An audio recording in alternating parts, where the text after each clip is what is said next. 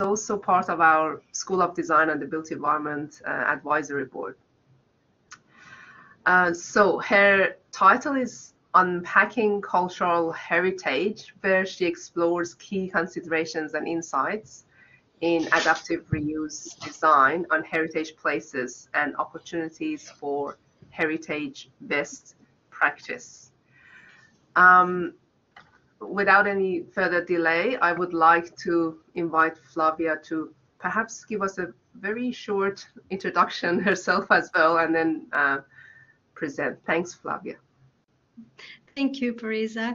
Um, I'll share my file now and hopefully sure. we'll go everything all right. You let me know if you um, um if you can see it. Sure. Um, can you perfect. see it, Parisa? Yep. Perfect. Yes. So um, I'm um, driving two computers here, so I hope I'll go well in the end. Um, uh, hello, everyone, and thank you for attending this webinar today.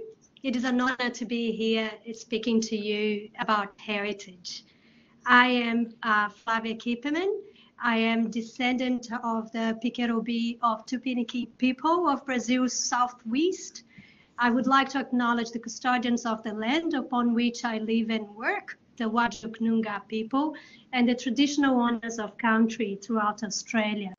I recognize their continuing connection to land, waters, and um, culture, and I pay my respects to the elders past, present, and emerging. Um, these are only a few examples of my background experience in heritage. I started studying architecture because I wanted to be an interior designer and that was my focus until halfway through the course. It all changed after I worked as a trainee architect on a Baroque church from the 1800s in Rio. And after that, my interest in heritage grew, leading me to complete, complete two masters by research on heritage management. My own practice in Rio started when I was engaged to restore 13 square meters 13,000 square meters of a nationally listed colonial roof from the 1500s, and the, rest now is history. I have worked on some of the most important tourist attractions in, and heritage buildings in Rio, Brazil, such as President's Palaces, national museums, Baroque churches, forts, civic houses, and so on. My last project prior to embarking on a life-changing adventure of moving to Australia was the Sugarloaf Master Plan, um, where my practice prepared the restoration of four uh, 1960s cable car stations, uh, prepared an interpretation uh, center, and concept design of new structures in both mountains.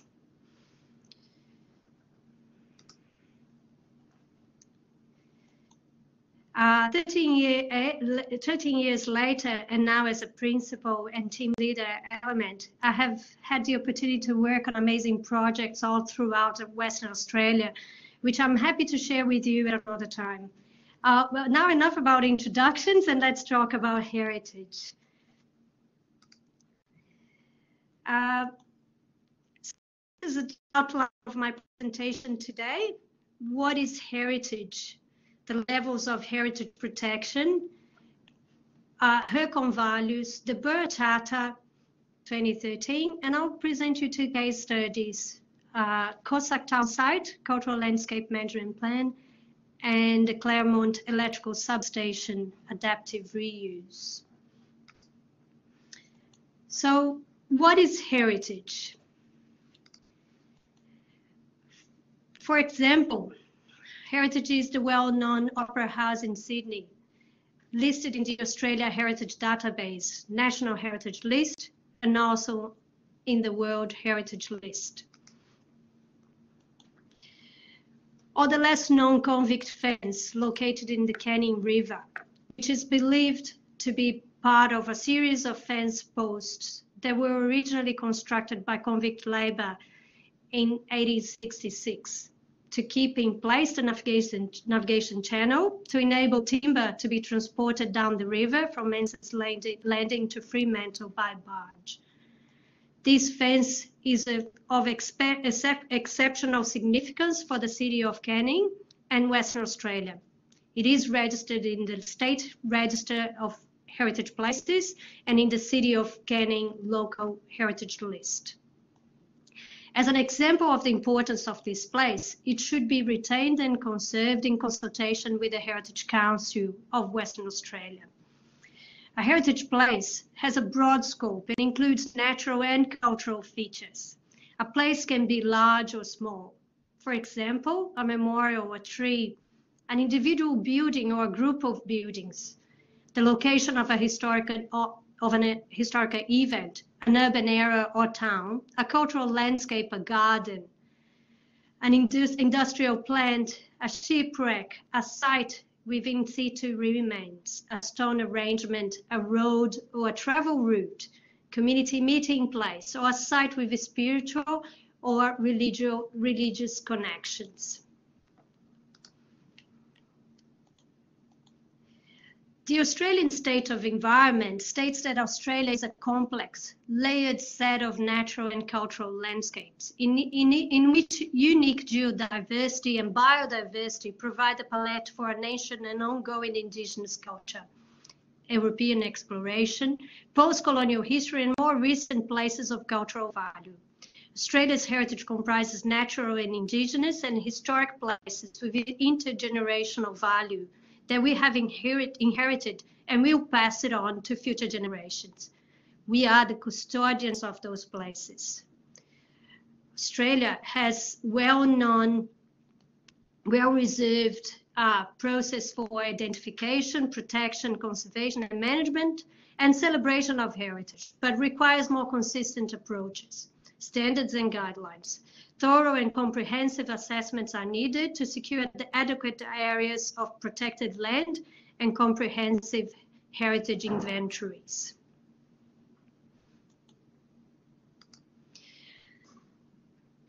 The Australian State of Environment key findings highlighted Australia's extraordinary and diverse natural and cultural heritage generally remains in good condition. However, our protected natural and cultural resources do not yet comprise an appropriate set of heritage places. Australia's heritage registers list natural and cultural places at national, state, and local levels, but in an inconsistent manner and with disparate levels of resourcing and regulation.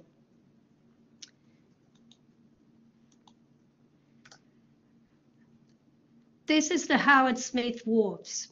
It was previously an inaccessible historical site in Brisbane and it was abandoned since the 1960s.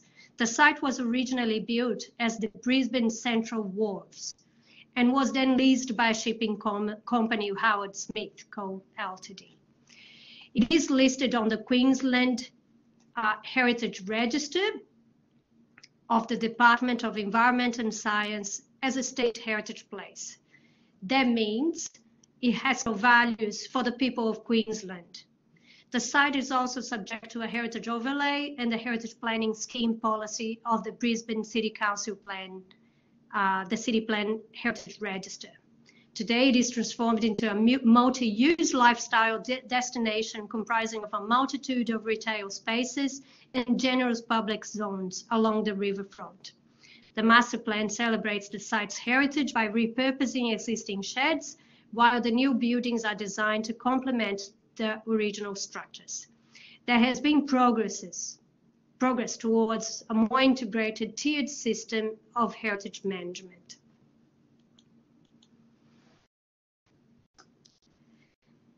There are many heritage lists in Australia with different names such as register, inventory, surveys. Some are kept by different levels of government, statutory lists, while others are maintained by the community or professional organizations. Non-statutory lists, such as the national trusts, uh, um, that exist in most of the states and territories, the Royal Australian Institute of Architects, Engineers, Heritage Australia, and etc. The main ones Australia's World Heritage List, National and Commonwealth Heritage Lists, State and Territory Heritage Registers, and local government lists, which are integrated into the planning systems. Natural heritage is generally identified and protected through national and state territory parks. Many Indigenous heritage places are protected by specific state or territory legislation.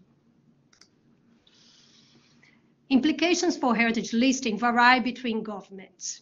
Generally, heritage listing provides protection for the place, focus on its heritage values or significance. Development of or planning approval processes taken an, take, take account of the listing. In some cases, owners may also be eligible for financial or other assistance. This table shows all three levels of government, Australian or Commonwealth, state and territory, and local. Each has a role in identifying and protecting heritage places. Some places may be important at more than one level, such as the Fremantle Prison, which all levels of government share responsibility for protecting it. Fremantle Prison is on, on the World Heritage List, on the National Heritage List, State Register of Western Australia, and on the City of Fremantle's Local Heritage Survey and Heritage List. It has also been classified by the National Trust since the 1960s. So not every place has heritage value and not every place with heritage value has sufficient value to meet the threshold justifying the inclusion on a particular list. Criteria and thresholds are key tools used to help inform these decisions. Criteria are a collection of principles, characteristics, and categories used to help decide if a place has heritage value. In addition to meeting one or more criteria, a place needs to have sufficient value to justify listing and therefore protection by a government, threshold of significance.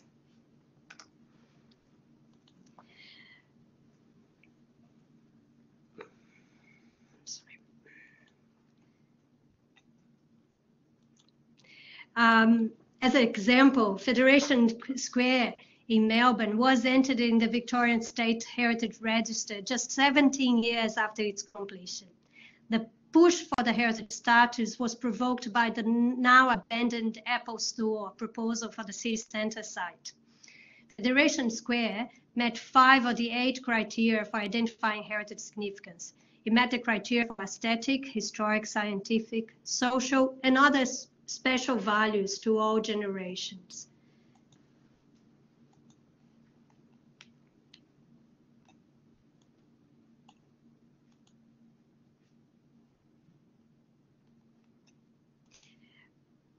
So the HERCON values uh, um, are, the, are the values that we use here in Western Australia and most of uh, Australia. So the, the Heritage Act of 2018 um, enabled us in Western Australia to use the same set of values that the whole Australia uses. So while there are some minor differences in the wording of the statutory criteria used by governments, the Commonwealth states and territories have endorsed the HERCON values.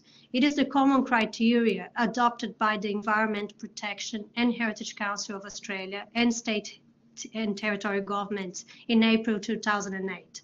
It comprised the model criteria developed at a National Heritage Convention, therefore the name Heritage HERCON, in Canberra in 1998. The Heritage Council of Western Australia has adopted HERCON criteria to assist in refining the assessment of places for the register. The criterion listed in orange here appears in the Western Australian Heritage Act in 2000 extra as an extra um, uh, criterion. And the other, the blue criterion, the ones listed in blue, are the ones in which the Federation Square has identified uh, heritage significance. So Federation Square, for instance, has importance to the course or pattern of a cultural or natural history. but it doesn't possess an uncommon, rare, or endangered aspects of our cultural or natural history, nor potential to yield information that will contribute to an understanding of our cultural or natural history. Federation Square has an important is an important in demonstrating the principal characteristics of a class of a, of a cultural or natural place or environment. It has importance in exhibiting particular aesthetic characteristics has importance in demonstrating a high degree of creative um, or technical achievement at a particular period. It has strong or special association with the, a particular community or cultural group for social, cultural, or spiritual reasons. This includes the significance of a place to indigenous peoples as part of their continuing and developing cultural traditions. Uh, the HERCON values has also two extra values, a special association with the life or works of a person or group of persons or importance in our history. And Western Australia includes any other characteristics they may have to, that, in the opinion of the Council, is relevant to the assessment of the cultural heritage significance. Wadjemup Rottnest Island in Western Australia is of historical significance to the state. The island has an interesting architecture, history, ecological reserves, archaeology, and the level of value justifies state listing. However, it does not meet the threshold required for national or World Heritage listing. There are 14 heritage listed places on the island, including the boat shed, Kingston Barracks, the seawall, cemetery, Thomson Bay, among many, many, many others. One of the 13 statements of significance identified for Thomson's Bay, Wadjemup Rottnest Island, says that it collectively, that collectively the individual components form a cultural environment which possesses significant aesthetic qualities. They are heightened by the natural landscape and marine features. The place is unique in the way in which so many very significant cultural elements are concentrated in a single place. Similar individual attributes are found in many places, but the combination on Wadjemup, Rottnest Island, is unique.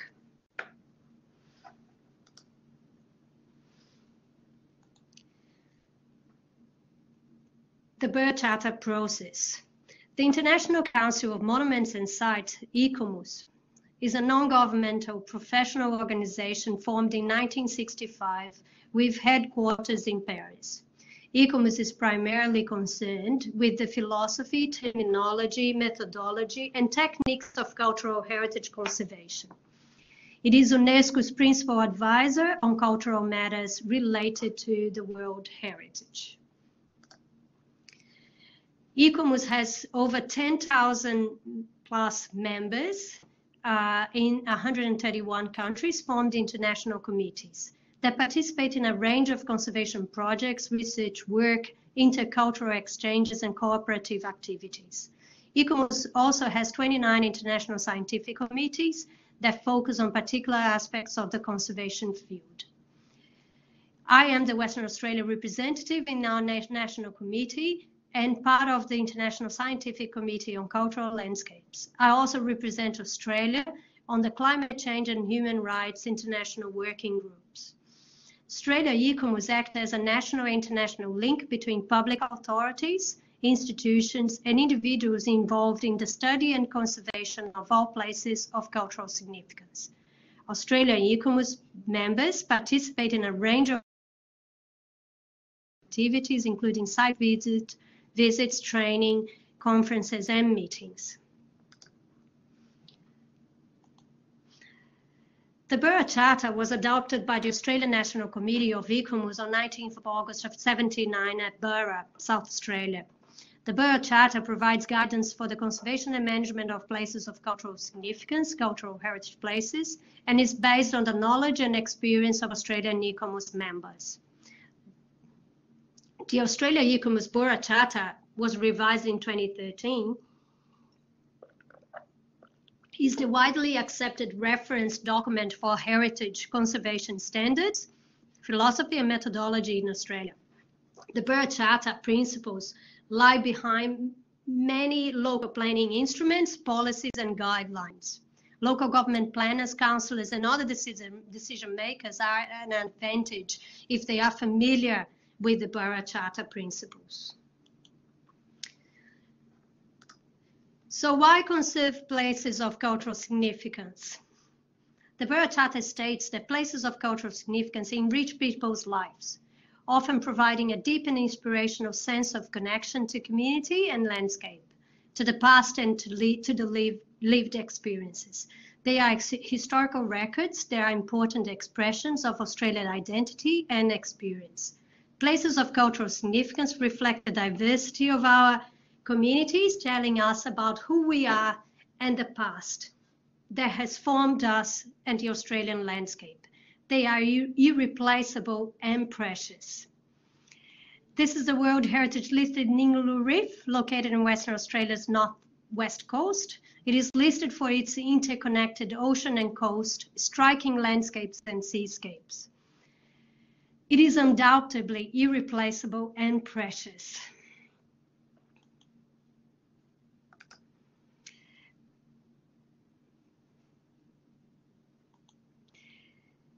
So the cultural significance of a place and other issues affecting its future are best, best understood by a sequence of collating and analyzing information before making decisions.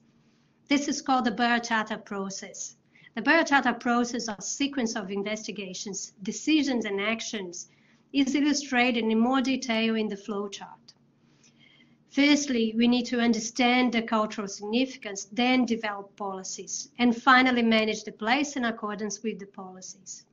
Policies should identify a use or a combination of uses, constraints on uses, and then retain the cultural significance of the place New use of a place should involve minimal change to the significant fabric and use, should respect associations and meanings, and where appropriate, should provide for continuation of activities and practice which contribute to the cultural significance of the place.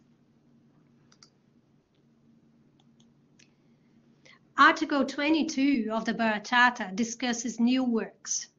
An important factor in the success, success of new work is the quality and sensitivity of the design response. New work should respect the context, the strength and scale and character of the original and should not overpower it.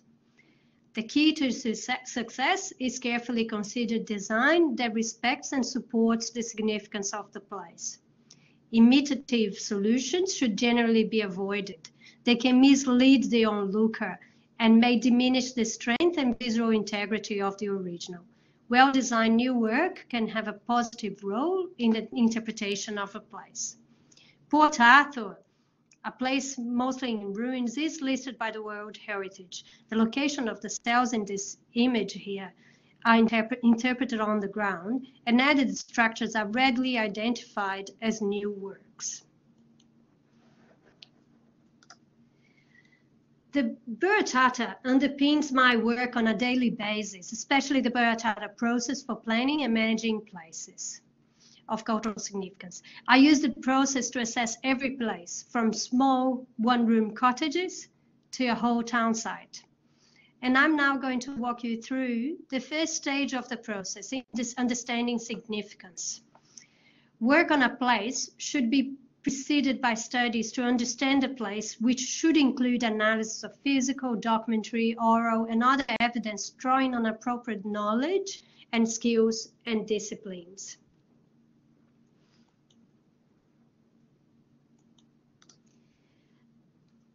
Uh, re regarding the case study of Cossack Town site, although we undertook all stages of the Charter process, my presentation today will be limited to a summary of the highlighted, the understanding significance phase. Cossack is located in one of the most ancient regions in Australia. The, it was the first port in the northwest of Australia and was established there in 1863. The place encompasses Aboriginal prehistoric, British pioneer settler, and Asian immigrant adaptations, making it a unique and rare cultural landscape. Managed by the government of Western Australia, the Ngarluma people hold the native title for the area. Just as the Pilbara landscape is extremely ancient, so too is the Aboriginal occupation of the region. Archaeological sites dating as far back as 50,000 years have been discovered on the Northwest Cape. In order to develop the cultural landscape management plan for Cossack, the cultural significance of the town site and other issues affecting its future were understood by a sequence of collating and analyzing information before making decisions. This is the Burra Charter process. The conservation of a place should also identify and take into consideration all aspects of a cultural and natural significance without giving emphasis to any one value at the expense of others. Understanding Cossack's history was essential to preparing management policies for the place. As an example, in the 1850s, Cossack became the home of the first pearling fleets in Australia. It was an important contact point between pearling entrepreneurs and the local Aboriginal people, with many Aboriginals being involved in the pearling industry, either, by, either through choice or cohesion. The pearling industry will also attract or invol involuntarily involved a considerable number of Southeast Asians, firstly Malays, a general term encompassing several different ethnic groups, mostly within the Dutch East Indies, followed by Filipino and Japanese divers. Many were purchased in the labor slave markets and, and by the late 1870s, Cossack Cossack had developed a distinctively Asian quarter known as Chinatown. The town site still retain multiple built archaeological sites, including ruins of building, market gardens, and wells. Today, there remains a number of buildings, archaeological, maritime, and aboriginal sites, all of which have cultural heritage significance in their own right, as well as contributing to the heritage significance of Cossack as a whole. The place retains its ongoing association with the Aboriginal people of the area who, are, who have a continuing connection to country. This is one of the graphs on historical tropical cyclones in the area and the 19, or 2019 cyclone Veronica's path. Cossack stand, stands in the path of tropical cyclones that develop between the months of November and April. 48 cyclones have been reported in Cossack since 1910. Significant cultural resources are disappearing due to the high rates of erosion, intense weather events, and other factors related to climate variability and change. Human interference also impacts on the archaeological remain as all-terrain vehicles drive over unmarked areas in archaeology. The place is a testimony to the rigors of frontier life, characterized by scarcity, climatic, climatic extremes, and the hazards of cyclones and tidal surges. The town was first destroyed by a cyclone in 1839. After a decade of British government attempting to establish a military outpost linking to Asia and India in the Pacific, the town site was abandoned.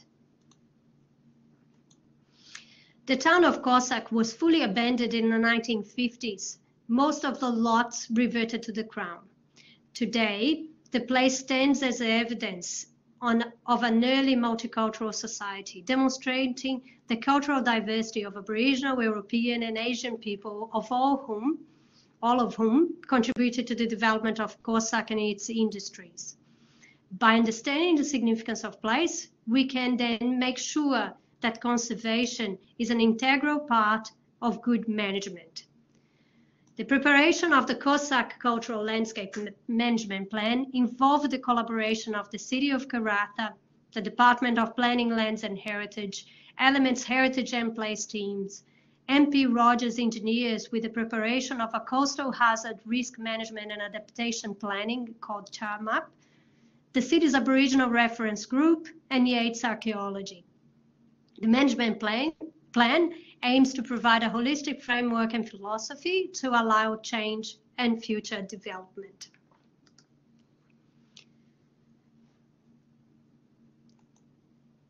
Now I'm going to talk about another project, which is uh, the Claremont Electrical Substation Adaptive Reuse. uh, Claremont Municipal Council electricity substation at 280 Stirling Highway was built in 1923. It was extended in 43 and would have been taken over by the State Electricity Commission in 1951. It was sold in 1985 and converted into a meter store, then used as a by Pizza Hut for storage, and later becoming a boat repair tire shop and workshops.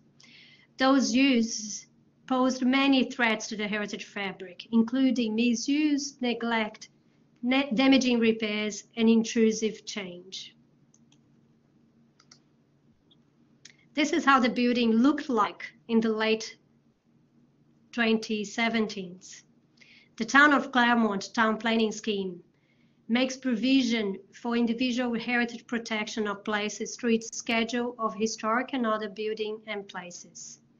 It is included on the schedule as a category B place, which identifies it as being of, of considerable significance to the local community, and its retention is therefore essential.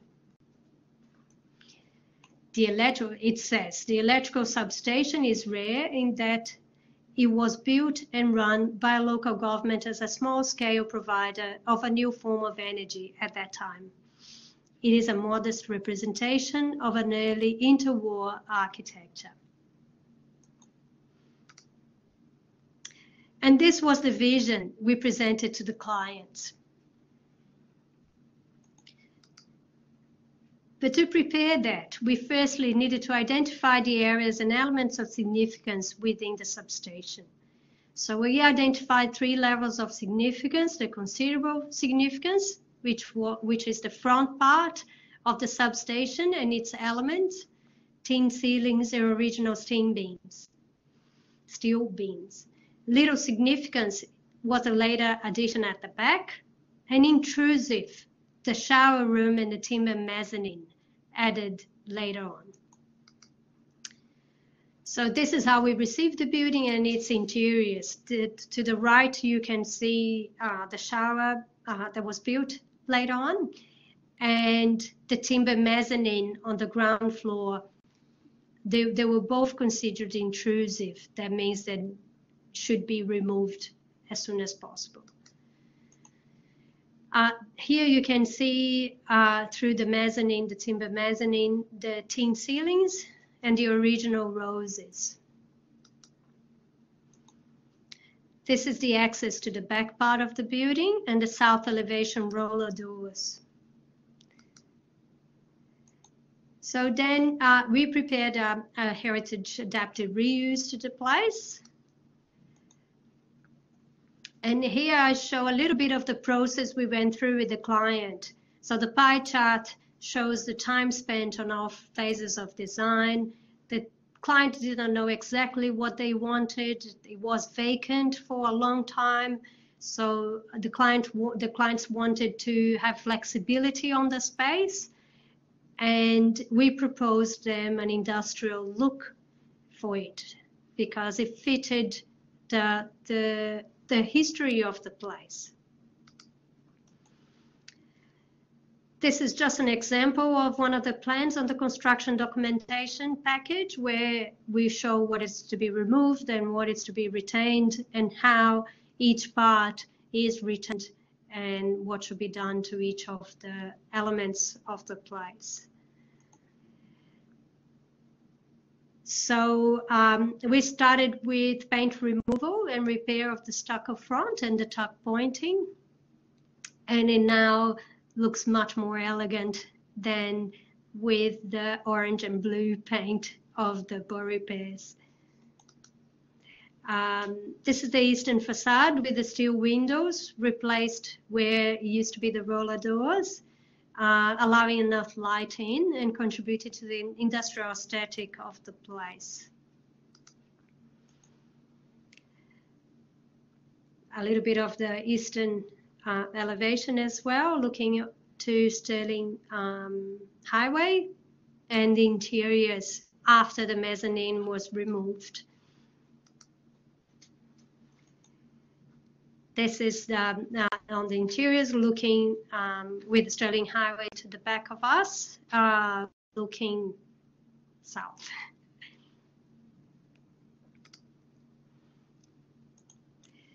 The overall result is a unique offering of heritage merit with finishes that are in keeping with its industrial style. Attention to detail in the new elements introduced to the place was maintained throughout. And new elements are easily identified following the Australian ICOMOS Baratata. The double height void at the entrance combined with the pressing ornated ceilings and double height windows remain as, as highlighted features the project demonstrates expertise in understanding the building technologies associated with the specific building typologies and in designing new interventions that are not, not only respect the building considerable heritage significance, but enhance its ongoing use. Now, the building has a new life as a furniture shop.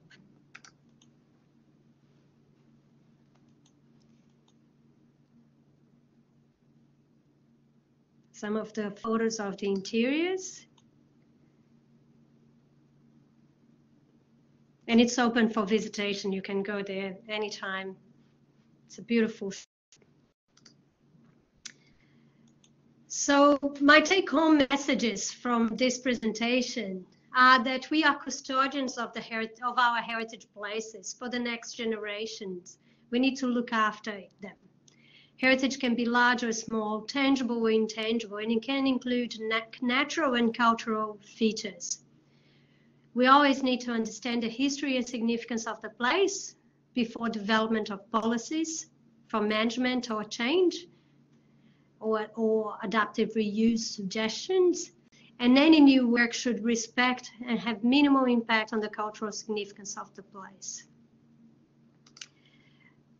Here I have some useful websites that you might um, want to read further of things that I've spoken throughout the, the webinar.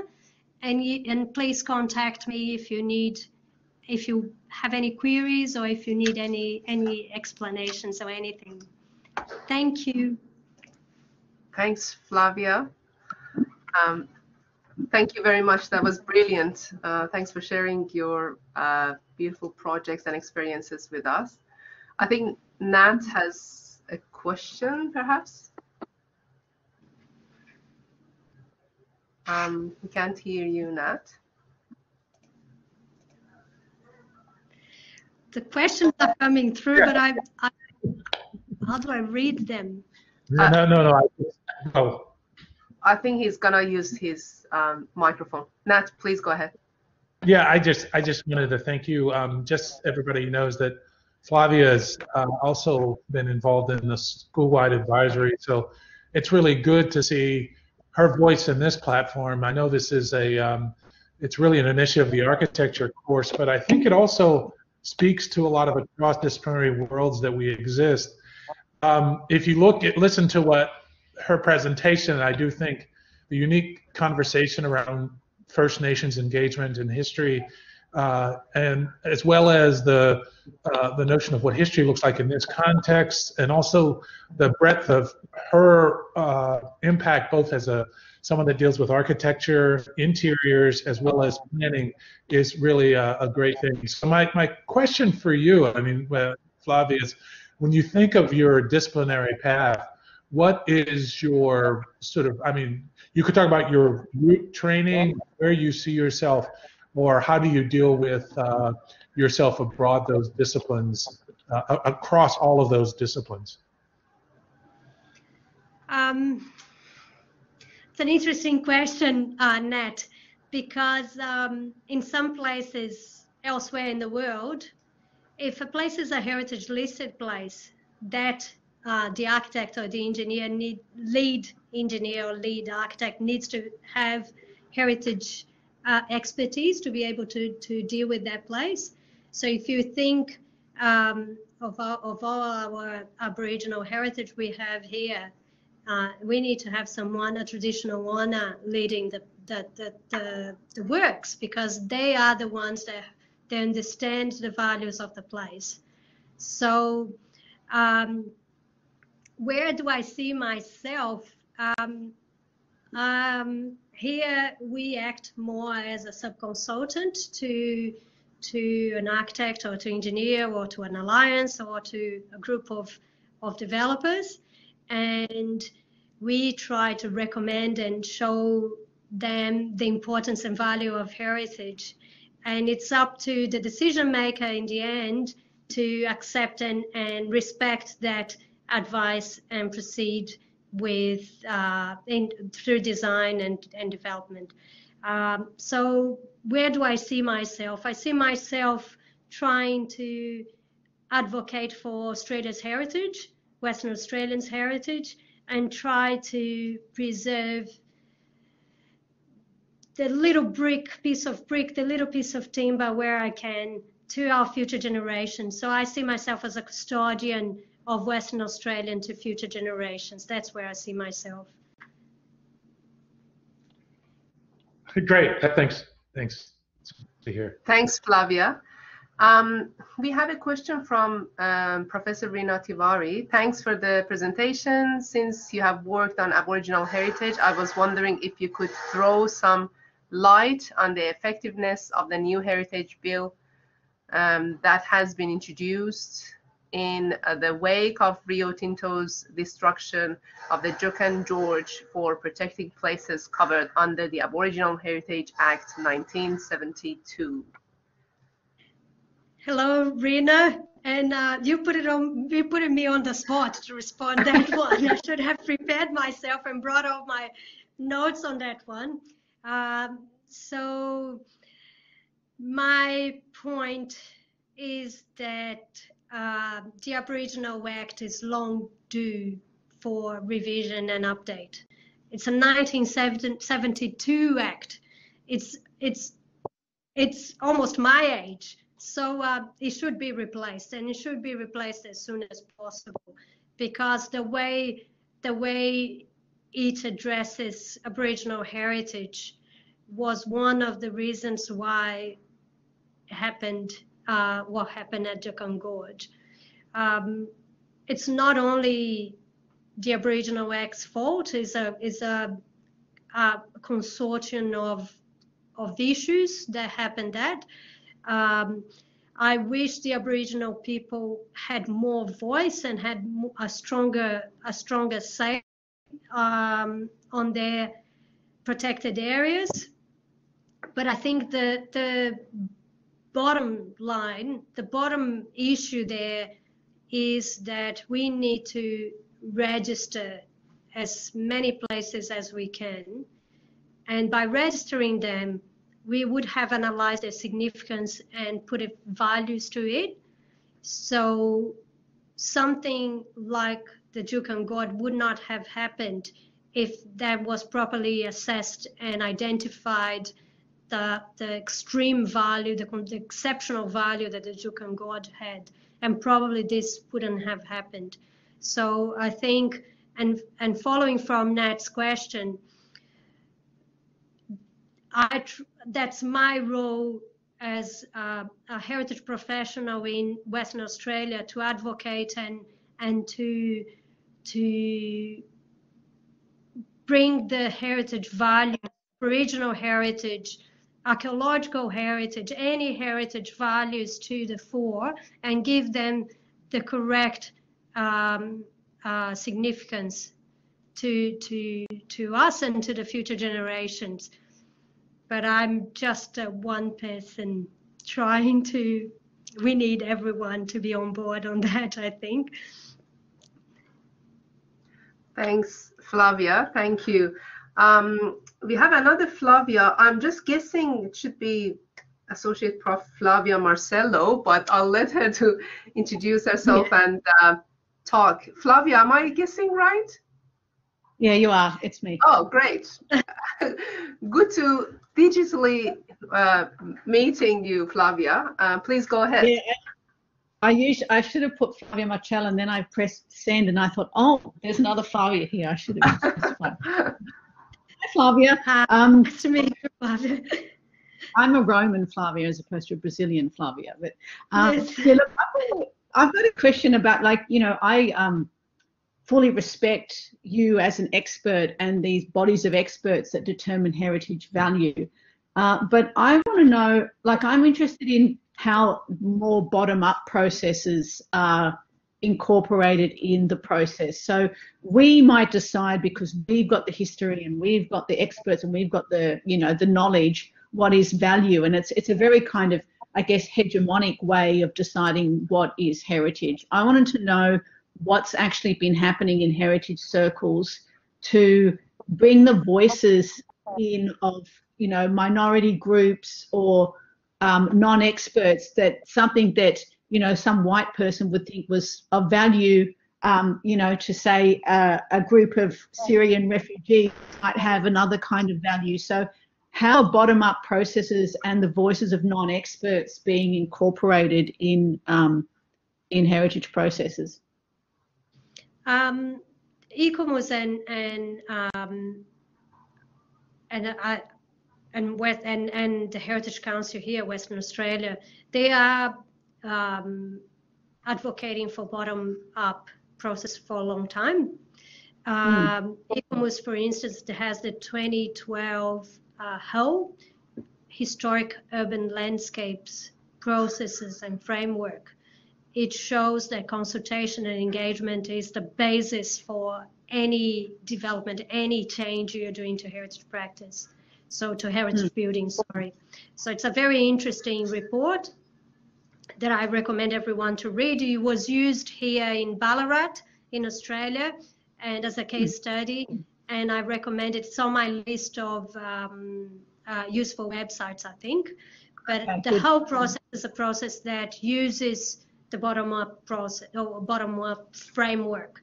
Um, as an example, for Western Australia, I am currently working in two projects where we are engaging with traditional owners before even planning starts. So we are listening to the uh, traditional owners and, and knowledge holders before we do anything with the project. And they are two public governmental projects that I'm working on now that we are engaging. And first, we talk to um, elders first. The elders then suggest us a group, a reference group for us to discuss with them. And then after having many workshops with the elders, uh, the, with the reference group, we then involve all the designers of the place and after that, we start discussing design. So it's a very interesting approach where it's making a lot of um, change, which I'm quite happy to be part of. Flavia, you coming from another place as well.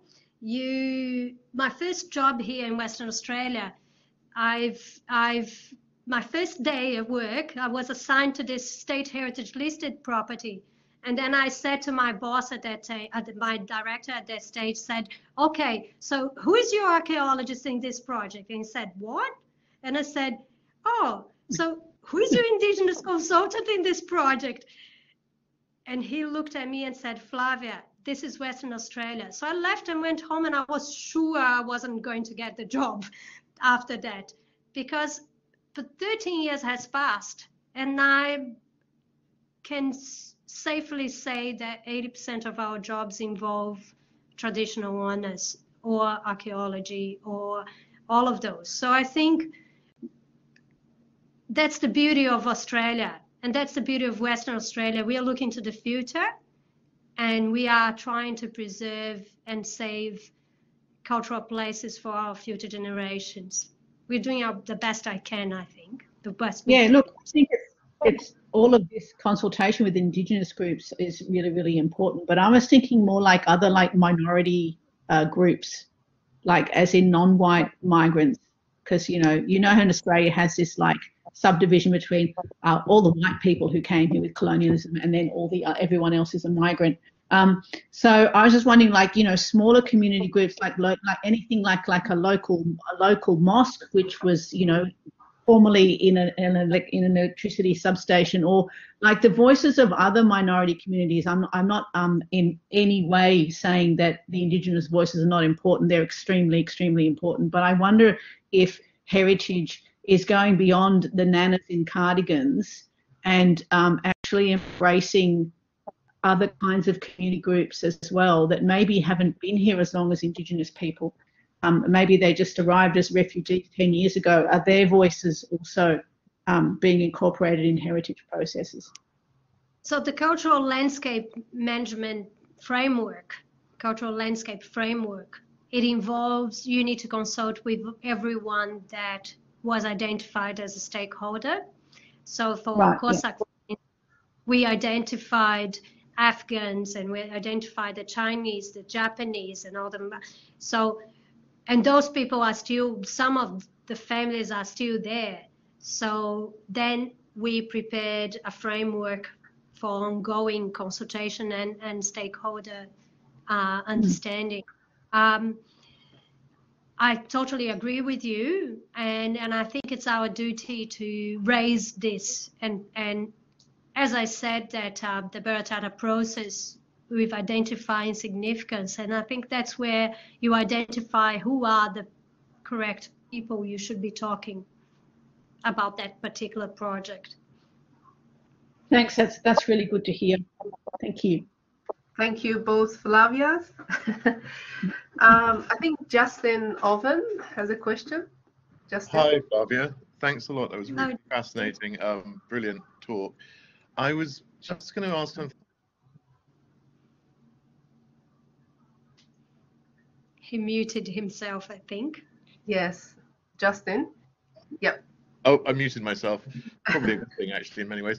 It was just a quick question, which was sort of partly goes back to Roman Flavia's comment in a way about the hegemonistic um, position of particular groups of white settlers, because these are the two examples I'm going to use. But I went to visit Ellensbrook House and also Wonnerup House.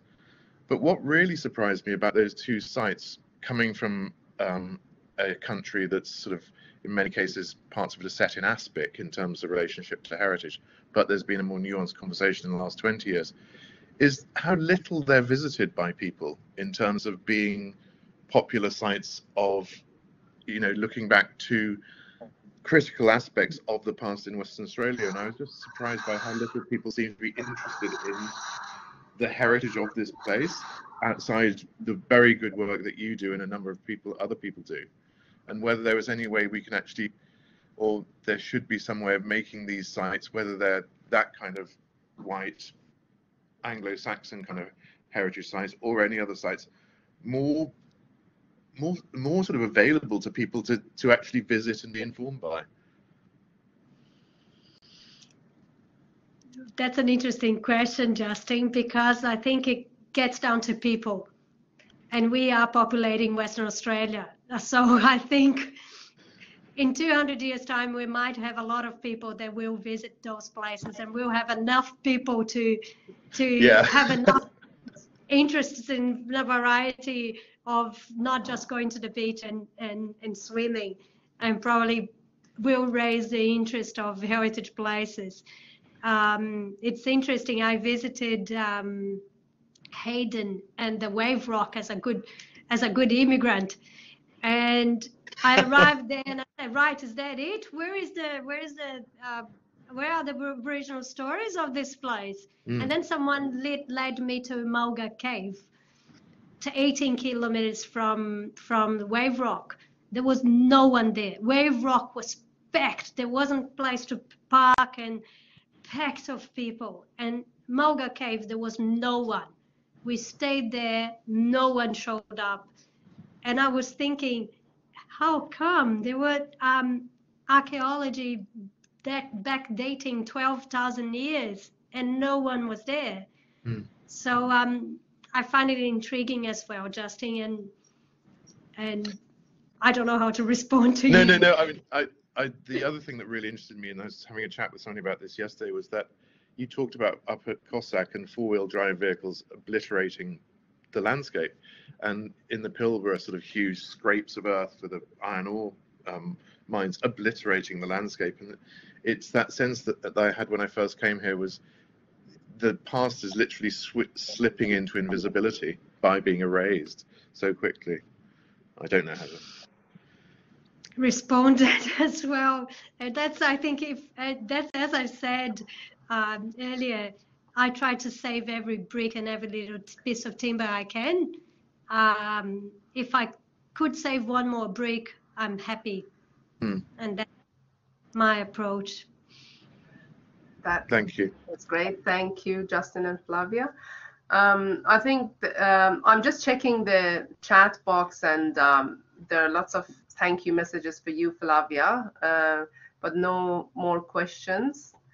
I think um, I would just like to appreciate once again for your time and uh, I'm pretty sure we'll see you uh, at different stages this semester because um, if the participants don't know, actually Flavia uh, has been um, one of the greatest contributors to our course um, for urban complex uh, studios, different reviews, and also, as uh, Nat mentioned, across the school uh, as part of our advisory board.